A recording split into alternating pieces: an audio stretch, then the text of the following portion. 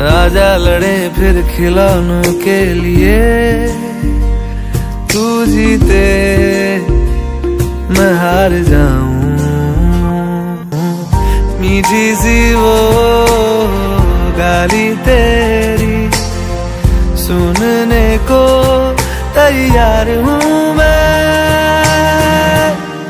तेरा यार हूँ